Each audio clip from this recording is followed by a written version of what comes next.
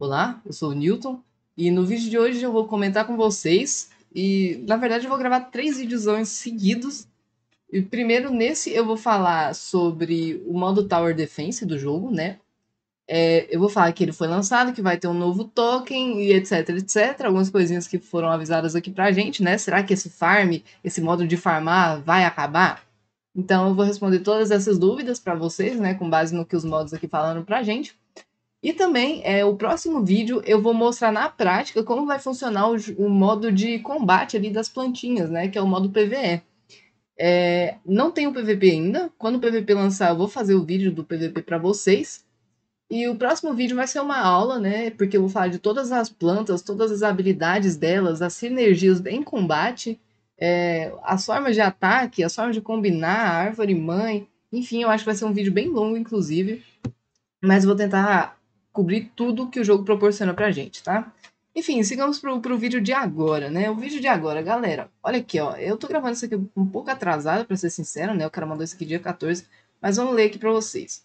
Boa noite, pessoal. Como todos sabemos, o Plant vs Undead não é um jogo somente de farm. O que, que é o farm? É esse modo que a gente está jogando atualmente, né?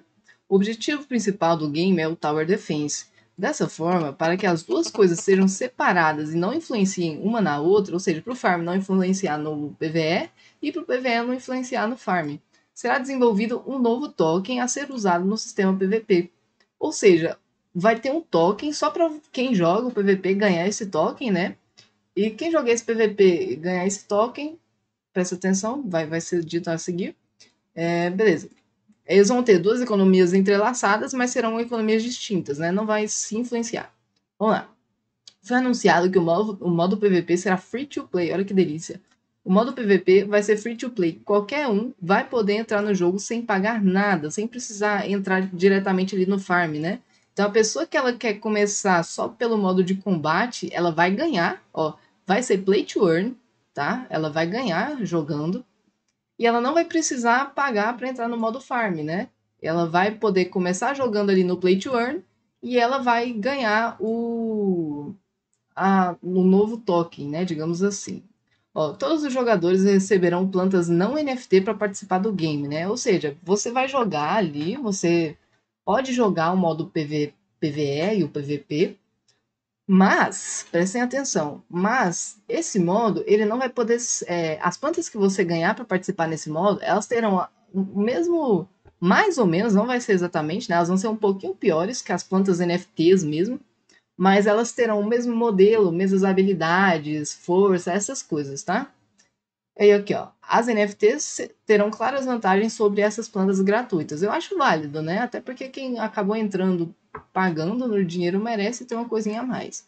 Então vamos lá. O modo farm não vai acabar. Então, se você está preocupado aí, né, que nossa, foi anunciado que vai ter um modo PVE, e como que a gente vai fazer isso? O que, que a gente vai fazer da nossa vida? É, fiquem tranquilos, tá? O modo, o modo farm vai estar tá funcionando do mesmo jeito, tá? Não vai parar de existir, você não vai deixar de ganhar lucrinho das suas plantas. Pode ficar tranquilo. Então tá aqui, ó, como foi anunciado, muitos planos para o farm e para o PVP, ambos ainda ambos irão avançar de mãos dadas. É, o farm 3.0 está planejado para outubro, né? Que é o próximo mês? Eu nem sei se é o próximo mês, cara. Pera. Outubro é o próximo mês, galera. Desculpa, é que eu tô perdidão da vida hoje. Enfim, mais informações serão passadas em breve. Galera, isso aqui é muito bom pra gente, tá? Porque mostra que os devs estão desenvolvendo o jogo, né? é a obrigação deles, mas mostra pra gente que eles realmente estão preocupados em continuar evoluindo o jogo, não deixar as coisas só do jeito que tá, né? E tudo mais. E aí, galera, nossa, eu tô querendo espiar. E aí, a gente vai ter esse módulo novo, né? Que eu vou fazer o vídeo, o próximo vídeo vai ser uma aula justamente cobrindo tudo que vai ter nesse modo até o momento, né? E esse modo vai dar dinheiro, vai dar um token pra gente, que vai valer um certo valor. Não sei se vai ser um valor maior, se vai ser um valor menor. Tudo depende de como as pessoas vão querer comprar ou vender esse token e vários outros fatores que podem influenciar. Então não dá para a gente falar necessariamente, ah, vai ser mais caro, vai ser mais barato, vai funcionar assim, assado. Então. E bom, isso aqui é uma notícia, é mais um passo que a gente está dando, né, para a evolução do nosso joguinho que vai, a partir do momento que ele vai ser free to play, eu acho que ele vai conseguir, vai começar a conquistar muito mais gente, né? muito mais galera vai entrar aí para jogar o joguinho. Eu acho que isso é muito bom pro jogo, para os desenvolvedores, pra gente, pra valorização da moeda. A gente só precisa ter essas mesmas manutenções que a gente está tendo, né? Igual os mods aí baniram 50 mil pessoas, basicamente. Mas é isso, tá? Agora eu vou parar esse vídeo, vou começar a gravar outro e eu quero deixar um recadinho para vocês, que é para vocês é, visitarem o meu Discord, tá? O link vai estar tá aí na descrição ou nos comentários também, eu acho que eu provavelmente vou colocar nos comentários. Eu tô querendo montar uma comunidade de, de galera que joga jogos NFT. Então, se você tiver afim de participar dessa comunidade e tudo mais, vem pro, pro meu servidorzinho. E é isso, não tem mais muito o que falar. Curte o vídeo, comenta, se inscreve e ativa o sininho também, é muito útil pra gente. Papai, amo vocês, fiquem com Deus, até a próxima. E eu fui.